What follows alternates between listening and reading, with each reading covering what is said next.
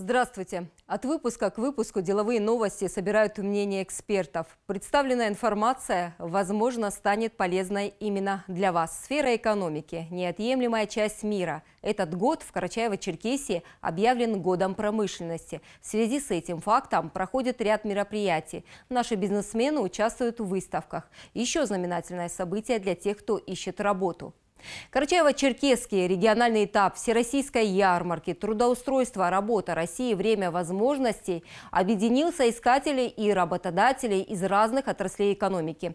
Мероприятие состоялось во Дворце культуры Черкеска. Гостями ярмарки стали не только безработные, но и те, кто хочет сменить место работы, а также выпускники колледжей и старшеклассники. Какие из вакансий лидировали на ярмарке и на какой размер оплаты труда могут рассчитывать потенциальные кандидаты, уже со Дворца культуры Черкесска развернулись информационные стенды. Они предназначались для старшеклассников. В них содержалась информация об учебной базе республики. Акцент был сделан по наиболее востребованным специалистам в регионе профессии. Еще до официального открытия у некоторых стендов и павильонов, где представлены крупные предприятия республики, успели вырасти очереди. Денислам Чачаев в начале жизненного пути, несмотря на свой возраст, понимает, что легких денег не бывает учится в лицее на электротехника и уже хочет устроиться на работу. Готов обучаться любому делу. Мне сказали, что тут можно приобрести вакансию какую-нибудь, узнать обо всем, что да как. Я пришел сюда, чтобы найти себе работу. Ну, по электротехнической части особенно. Э, я нашел вакансию, без опыта можно, э, без опыта работы 30 тысяч в месяц. Не знаю, пока что понравилось. Денисламу предложили работу в Рубском горно-обогатительном комбинате. 30 тысяч рублей – это старт.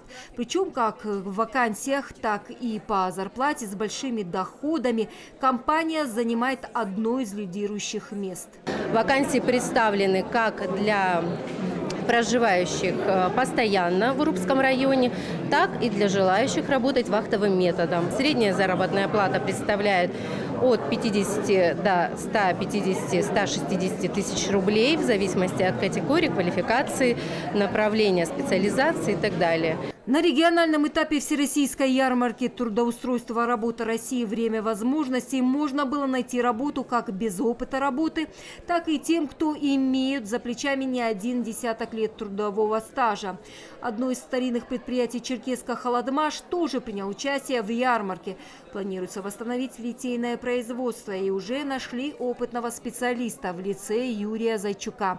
За его плечами 42 года работы инженера-литейщика. Работал и мастером, и технологом, и начальником смены работал в свое время. А сейчас сложно вообще найти работу? Ну, смотря что искать. И то, что предлагают сейчас, зарплаты не очень. В основном везде идет минималка. А зарплата какая? Ну, обещают от 30. Вас устраивает? Ну, пока да.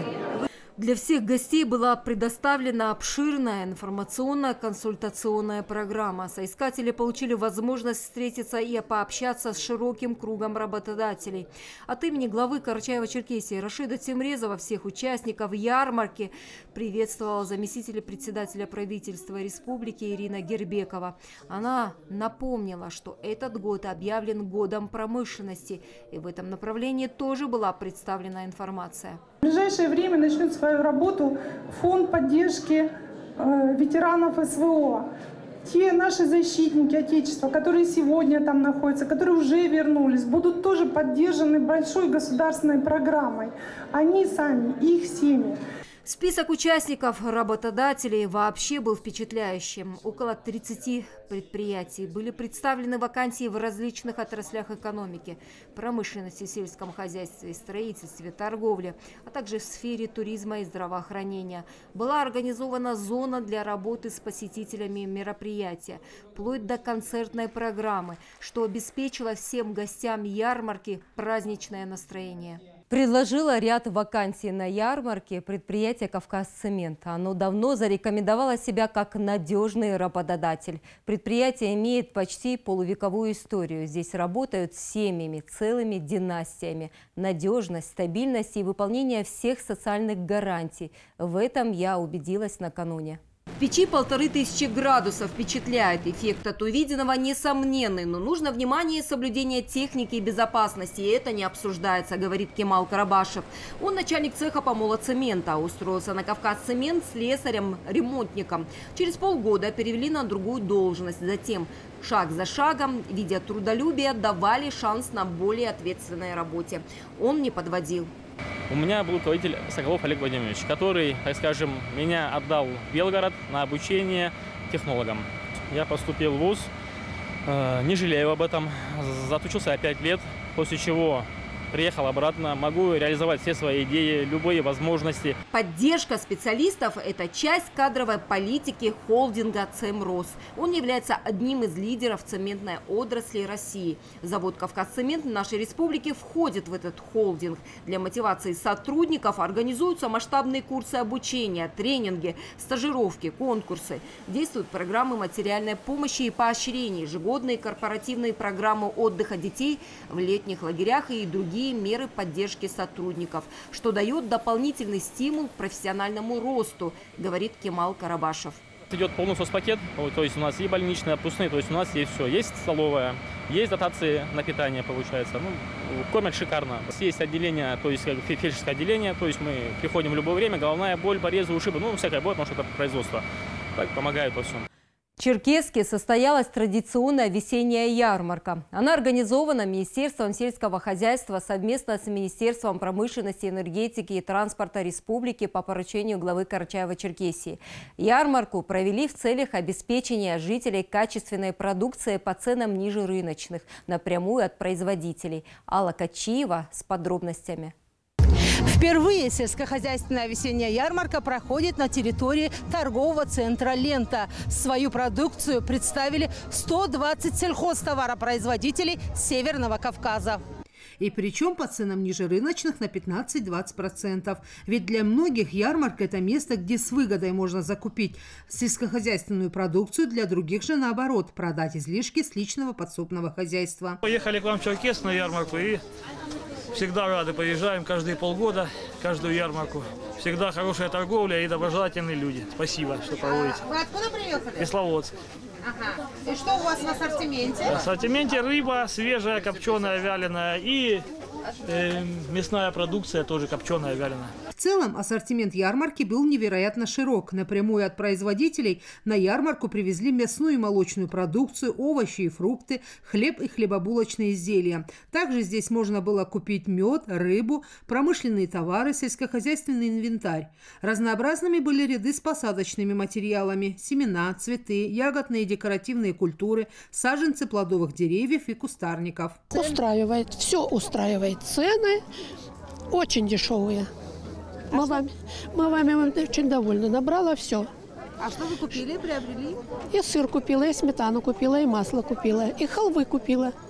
Молочная продукция и не только представлена на ярмарке инициативной группой «За наших». Сегодня у нас молочные продукты, хычины, как всегда, и сладости, тоже приготовленные дома руками наших активисток. Марина рассказывает, что все вырученные средства будут направлены в помощь военнослужащим в зоне СВО. Министр сельского хозяйства Карачева-Черкесии Анзур Баташев и исполняющий обязанности министра промышленности, энергетики и транспорта Республики Мурат Гапов лично осмотрели представленную на ярмарке продукцию. Они пообщались с товаропроизводителями и убедились, что все они соблюдают низкую ценовую политику. Подойдите, пожалуйста. Ягнятину попробуйте.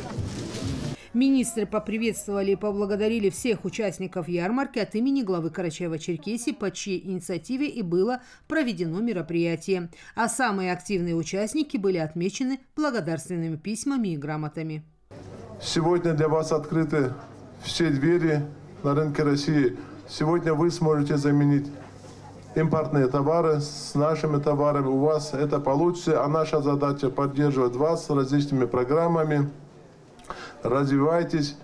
Ярмарка сопровождалась выступлениями творческих коллективов республики, а также мастер-классами по выпечке и изготовлению сыра. Артисты подготовили яркую и по-настоящему праздничную программу для жителей республики, посетивших мероприятие. Как говорится, все остались довольны. Очень приятная обстановка, ярмарка шикарная, продукты шикарные.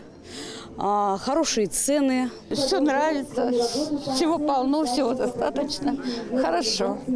А что вы приобрели, если не секрет? Не секрет, я приобрела красную рыбу, приобрела зеленый чай, ну, деревья. Очень нравится. Производство текстиля Карачаево-Черкесии не уступает зарубежным брендам. В этом убедились участники международной выставки «Меха и кожи. Мягкое золото России».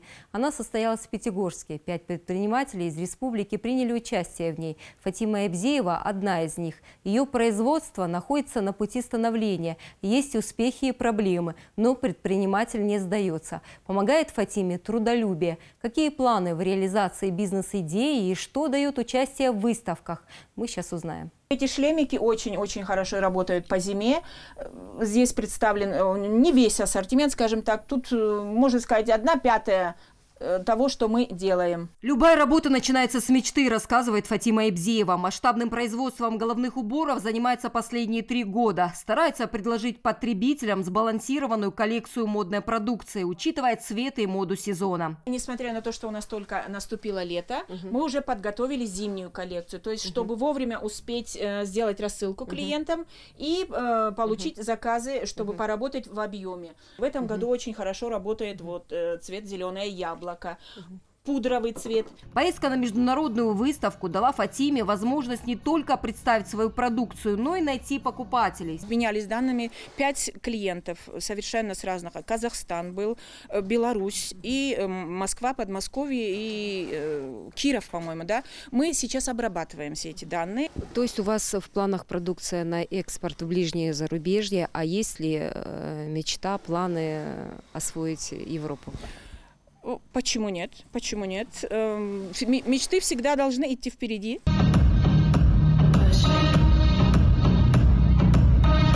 На тематической международной выставке меха и кожи «Мягкое золото России» наши предприниматели были достойно представлены, рассказывает Фатима.